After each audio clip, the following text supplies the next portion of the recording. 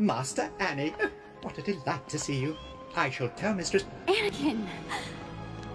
That will be all, 3PO. Are you sure, my lady? Yes, 3PO. Now go. Oh, very well.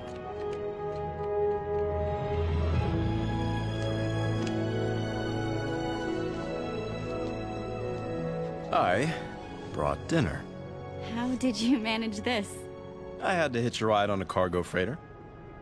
What happened to your military transport? Eh, it blew up.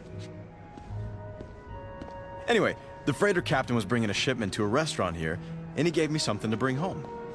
We just have to... What?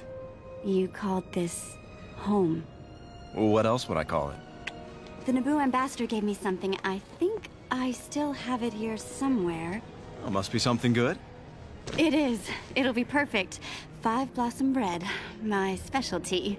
You have a specialty? I know how to make lots of things.